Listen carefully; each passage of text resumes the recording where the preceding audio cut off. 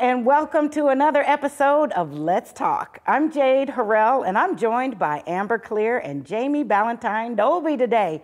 Hey, you two. Hey, sunshine. I love the hey.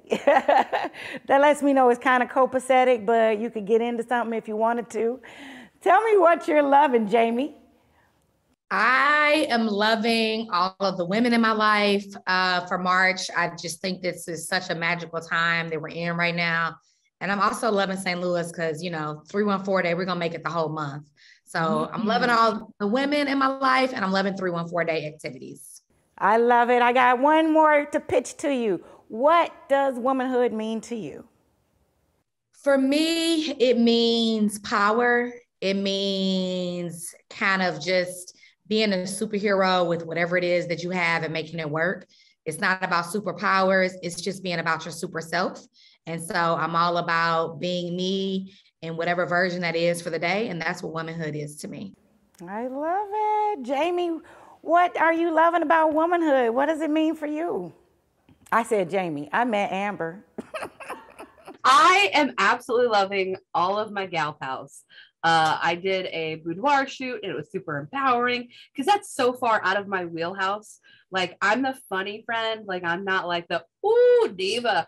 Uh, and honestly, just the experience with my friend was super fun.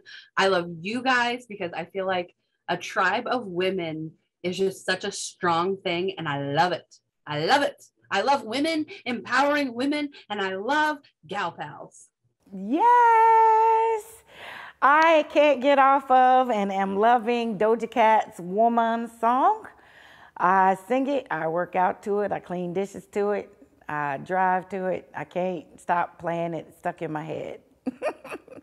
but it's Women's History Month, and on today's show, we have two ladies who have made it their job to inspire, uplift, and empower. We'll meet them next, right after this quick break, so please stay with us. Queen is just my everything. His smile did it. His smile, his eyes, his knowledge. My landlord, he decided that he wanted me to move based on the fact that I was transgender.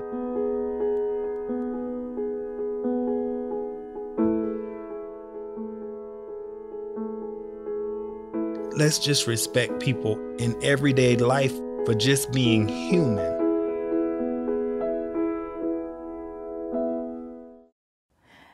Welcome back to Let's Talk. For the past 35 years, March has been a time to celebrate the contributions women have made and continue to make to history, culture, and society. As we look forward to celebrating this year's Women's History Month with a theme of providing healing, promoting hope, we couldn't think of anyone better for today's show than the two ladies who are about to join us. Every day, they're filling their viewers' cups on their Own Your Now show, and we're honored to have them with us today. So please help me welcome Tracie Berry McGhee and Yolanda Lankford with Own Your Now. Welcome, ladies. Hello, beautiful ladies. Thank you for having us. I am so glad to have you, and I'm glad to have me a cup on the set because I knew I needed to have something in my cup.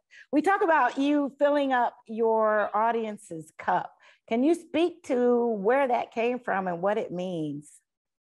Well, you know, um, the thing about uh, women's history is we always have stories, right? And oftentimes, uh, Yolanda and I ask the question, "What's in your cup? Like, is your cup full, or or what? Is it overflowing?" And that's the value of asking, "What's in your cup?" Um, literally, we want to know what you're sipping on, but also we also ask, like, "Is your cup full, or is it overflowing?" Because we want you to remember the value of sipping off the saucer. That's it. and the sipping off the saucer talks to the excess. Now, maybe somebody else watching, like myself, may not even be up to their brim just yet. And I know you're about empowerment and upliftment. What do you say, and how do you encourage women when their cups aren't quite very full, maybe even half empty? Well, you know, I always say that even if your cup is not all the way full, it's on its way.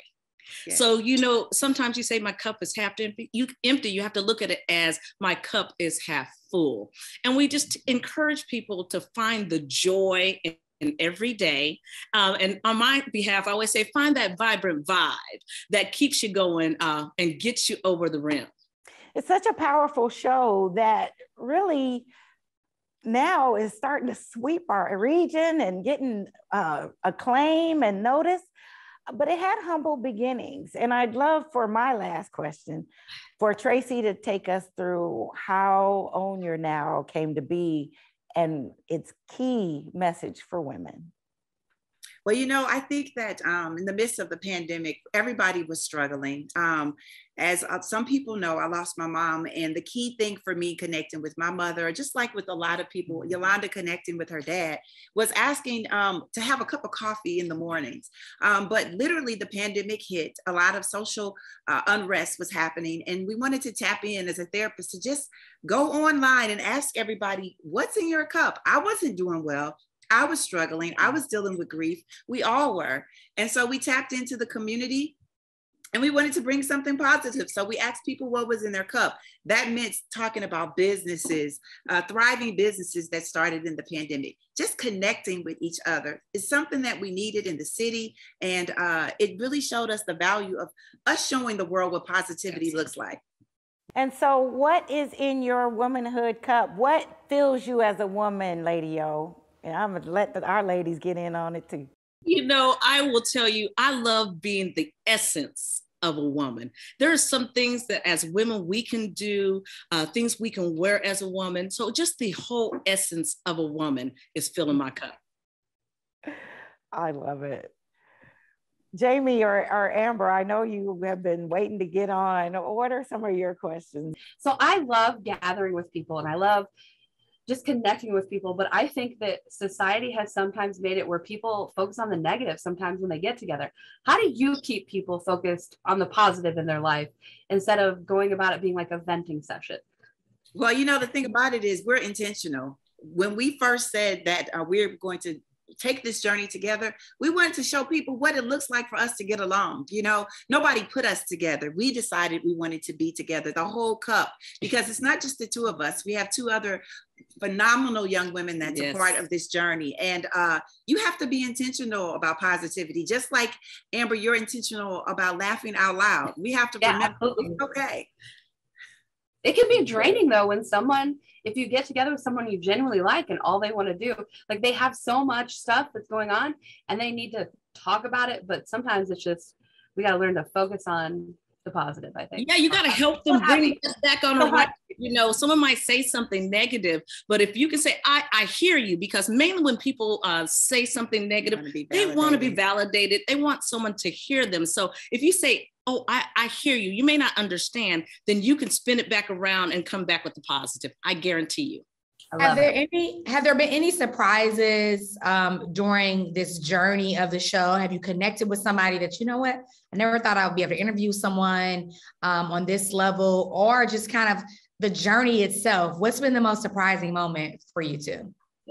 Wow. Well, well, you know, there's been so many, but I will say for myself, the moment we got to um, interview Jeffrey Osborne, yes. because you know, I heard about all I heard all his music all my life, and I just never thought I would get that opportunity. And for him to tell his whole life story yes. in song, I mean, he was singing every song, the hit songs, and some songs we didn't even know anything about that were part of his life story. And just to hear that journey. Yeah. Um, um, because we've seen him for many years and you just don't realize someone's been singing for 60 years or 50 years. So yeah. that was one for me. How about you tracie? I think for me it was the journey of us getting to where we are right now. Being a part of the itv network has allowed us to see the value of women dreaming. We always say that we're seasoned and this is our reality now and we're this is not our profession. We didn't um, say i think this is what i want to do we just decided that once um, it, it, it, got its own legs, we said we're going to own it. Yes. And that's how we got to owning our now. You know, as a therapist, being mindful of being in the space together is really important. Um, this is how we let our light shine. And I think that everybody mm-hmm. gets to glow as a result of it. So, and, and you know, I'm going to piggyback off that. The fact that we're all so very different, but I always tell people, even though you're different from someone, you are still still have so you all have so many things that you are alike. Yes. There's more things that you are alike that you can concentrate on. But I do love the fact that we're, we're all different and we all bring something to the mix. Yeah, I love that part about the owning your now. And that kind of refers to that perspective that you were talking about, whether you're looking at your cup half full or half empty. You two, this is not your profession. You kind of stepped out there on heart and faith, and now you're a full TV show broadcasting on the TV network and, and much, much more. But your now might have looked half empty when you started. Well, the way you described it as you were.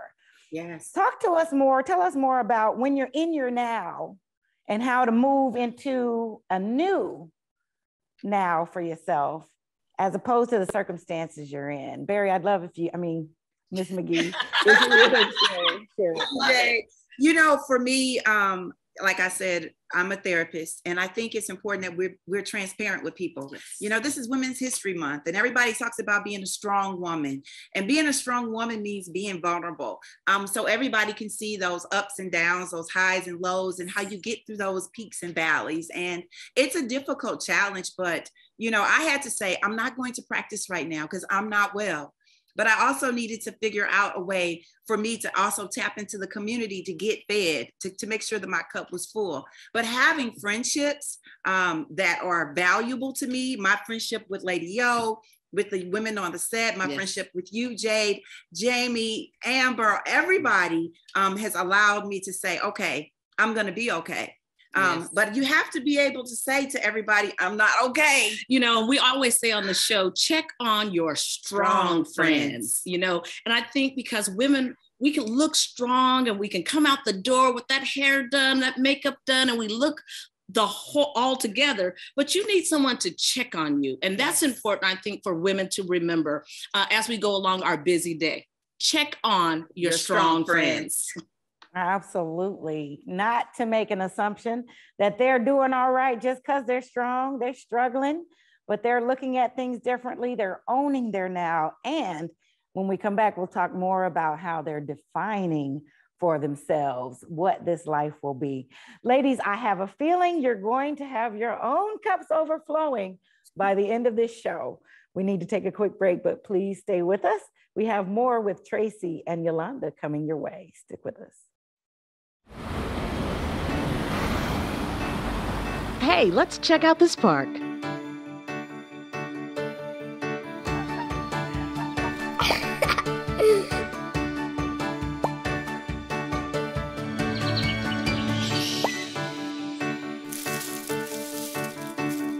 oh, wow, that's really cool. To find a great local park or forest near you, go to discovertheforest.org. Welcome back to Let's Talk. We're talking with the ladies of the Own Your Now show, Tracie Berry McGhee and Miss Yolanda Lankford. Lady Yo, welcome back, y'all. We've got to continue this conversation, defining ourselves and keeping our sisters. Yes, yes. Um, so the I Define Me movement is about empowering girls. And uh, I think that one of the things that we have seen the value in is making sure that our girls see positive role models um, that mentor what it looks like for us to own our now. So when we say the I Define Me movement, we're talking about girls all over the world that are picking up their journals, writing out their visions, and making it a reality. And I will say, joining Tracie on this journey with the I Define Me movement has just been phenomenal.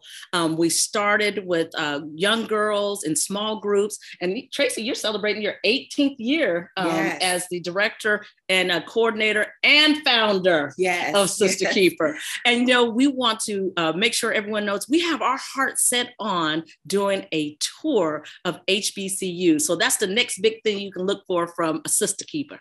That's right. That's right. Wow, that just kind of gave me warm fuzzies. 18 years. I still remember when Tracie started this. So I feel like I just dated myself for sure. Um, but Tracie, you were instrumental for me in getting, like, I journal before, but I think I learned how to journal from the I Define Me movement and listening to just what it because I think sometimes people buy journals, but there's also a method to journaling. And how can journaling combine with the I Define Me movement? How do those two things work together? And why are they so important when it comes to defining who you are? Well, you know, the thing about it for me is every girl, I know I started out when I was a little girl, mm-hmm. I had this little diary with the key, and I would say, do not enter.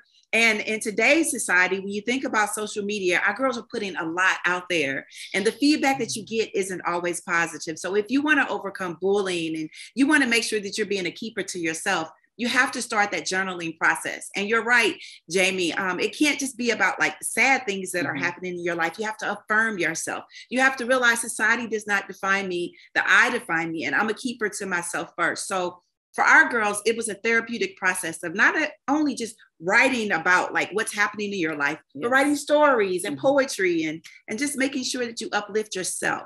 Yes, and we always say a sister keeper is you, a, sister, sister, keeper, keeper is me, a, sister, sister keeper, keeper is we. That's right. That's right. And Jamie, you've been a keeper. You've been a part of this process for about 18 years now, right? uh, yeah. exactly dated myself. I can't say that I'm 24 anymore. So, well, you still I, look 24, so it's great. It's great. Well, you have the you. wisdom of someone older than 24, but you still look 24. She sure does. Well, I know that um, for us, being a keeper is larger than um, just the STL area. You know, now we're global. We have chapters in New Mexico, Thailand, Jamaica, Germany, Ghana. But the goal is that um, when we say sister, I think people need to understand biologically, you may have a sister. And I do. Yes. And um, but the A, it means we're all sisters. I say black, white, tall, short, thick or thin, hazelnut blend, cantaloupe skin. Just open up that multicultural Crayola box. If you find your color, that mm. means you're a sister yes. or a brother. if somebody wanted to get involved, you have all these chapters. How would they get involved with you guys? Well, you can actually go on our website. It's uh, www.idefinememovement.com.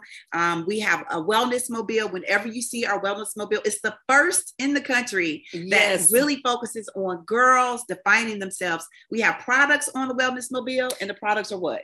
All the products on our wellness mobile are made by girls or women for girls or women. So when they come in there and they see the pillows, they see the lip balms and the soaps and the t-shirts, it just empowers them to know you can do it too. That's you right. can have a product, you can sell a product, you can have a career, and you can be successful. And we might just feature you in the mobile. Yes, yes. How, in, how important was that for you all to kind of reach back for the wellness mobile? I know that was been a dream of yours, Tracie, for a very long time. But when it when the wellness mobile, when the first time I saw it outside of the history museum, you were very intentional about putting the different products from other young women um, and adults in there. Why was that so important for you to partner up with those individuals as well?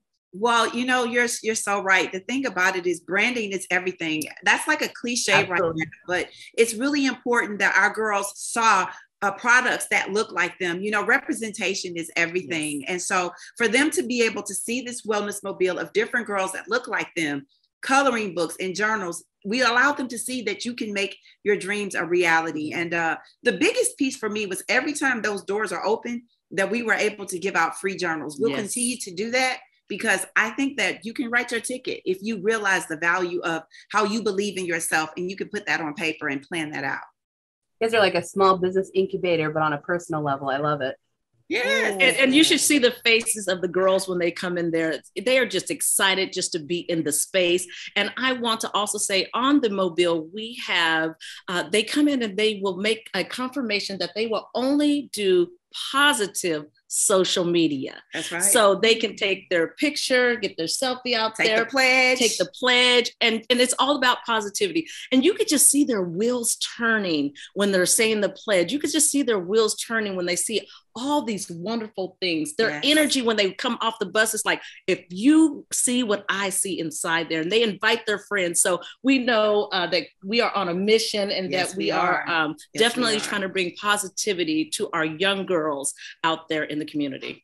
I absolutely love it. Does this bus travel? Like, does this does it go? It goes on the bus go, go round, round and round. it is so Amber, literally, it looks like a UPS truck. Um, um, and we call it the I Define Me Wellness Mobile. And so, yes, we do travel. We go to a variety of different schools, um, different communities, uh, community events. Um, this last year, this is our third year that we're doing International Day of the Girl. We partner with the History Museum. So, whenever you see us, our doors are open. And we always invite our girls to come on because they're going to leave off knowing I define me, not society. And you can't miss it. It is a, it's the size of a UPS truck, but it is lavender. Yes. And it has beautiful young ladies of every shade, shape, and size yes, on yes. the outside. So that lets everyone know that they're welcome. So you can't miss us when you when you hear we're coming.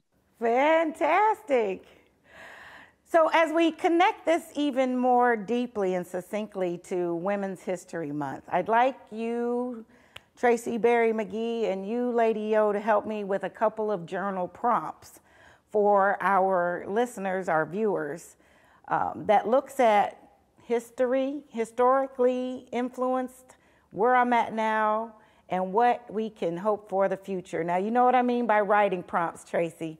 So we're going to say, take out a new page. Today, you get to turn over a new leaf, looking back, owning your now, and filling your cup in the future. Can you help me with those three prompts before we go?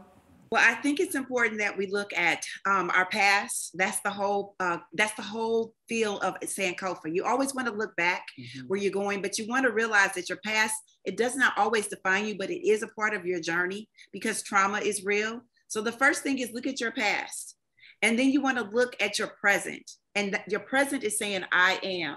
Absolutely. The I am is very important. And then the next step is knowing that I am we. As women, we can come together and we can create a beautiful universe that we need in yes. our communities, our local, national, and global communities. So at the end of the day, you're saying I am we. But you mm-hmm. can you can define that I am. You have the you have the ability to say, how will I own my now? Yes. So say own your now and tell us how do you want to write your story. So I am, I am dot, dot, dot. You fill in the blank. Nice, nice.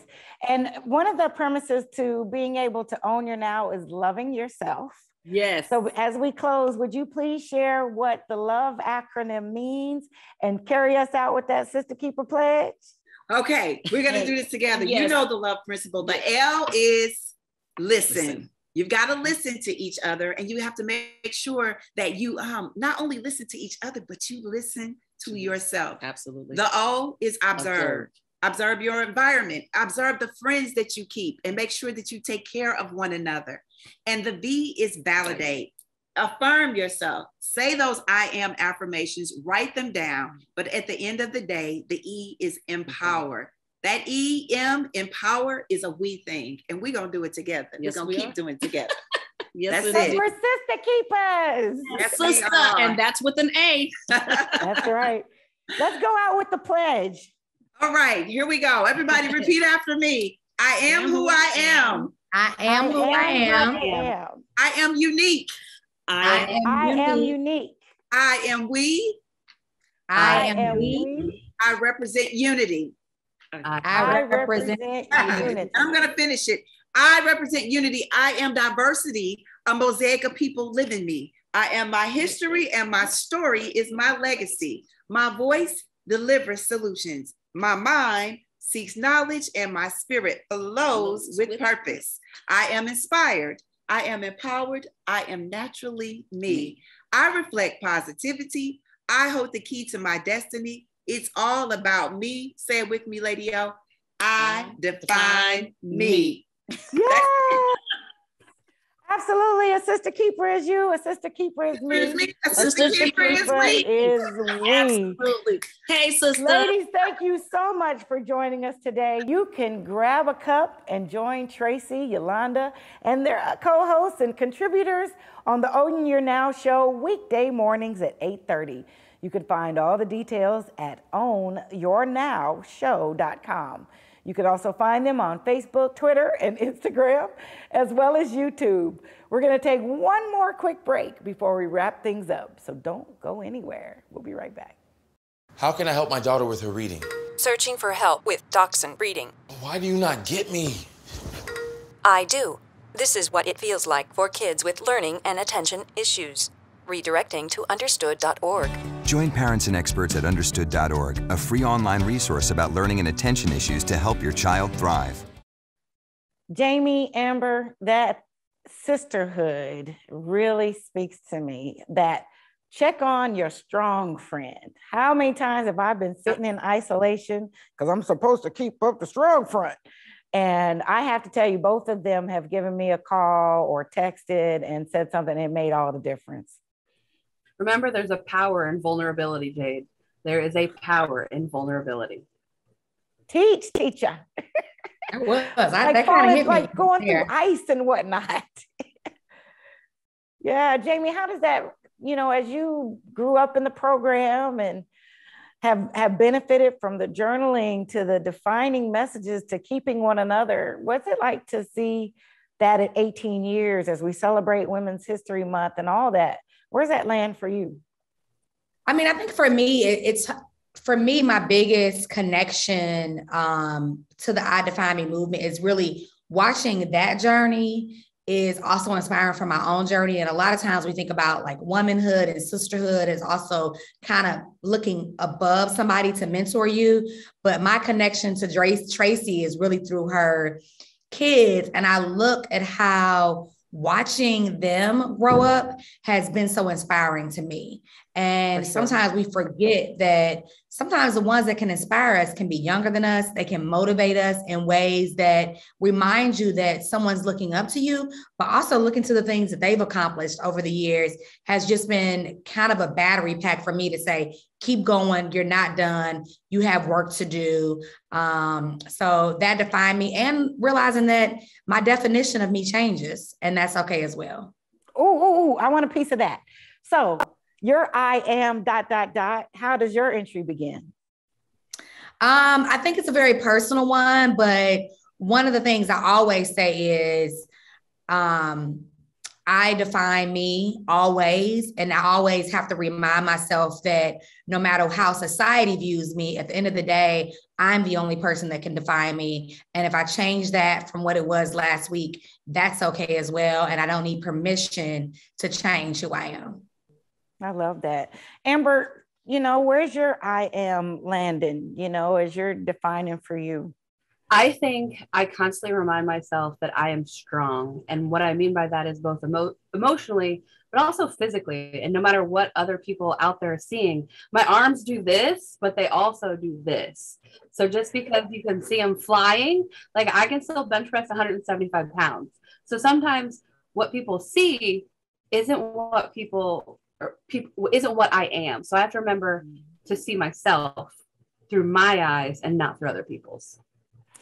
Yes, Hunty, yes. But if you were looking at what I'm looking at right now, pretty sharp on the set. Both you and Jamie have inspired me in your work, in your positivity, in your determination, and your sisterhood. So I own that. Girls, that's all the time we have for now. And thank you, everyone, for joining us today. Please be sure you join us on Facebook, Twitter, Instagram, and YouTube, or visit us at stltv.net. I'm Jade Harrell for Amber Clear and Jamie Ballantyne Dolby. We'll see you next time on Let's Talk.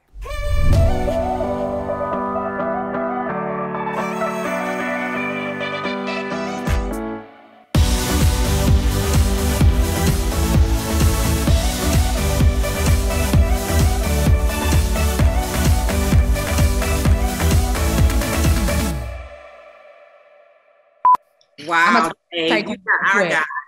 You have our guy. Okay. Oh, look, I'm busted. Jay, you have to run your own teleconference today. You gotta prepare me for that. Y'all got necklaces. They both got some neck action going. Necklaces. Yeah, we get to love on each other. Cause you know what? Her birthday's coming up. Her birthday's coming up. Y'all know my birthday is March 5th. I, I am, we are history. Yes. Wow. You're making 55 years of history. 55 years of history. Oh, I was- Jamie, text my family, ask them what they're doing for my birthday. Because right. if nothing, I'm gonna be out of town. Hey, That's why you got to get it planned. Are we recording? Okay, Sorry. Um, there. That's it. okay. Now, how do we do this again? okay, we're gonna go ahead and take a um, screenshot of you all of everybody. Uh, poetic justice, you ready over here?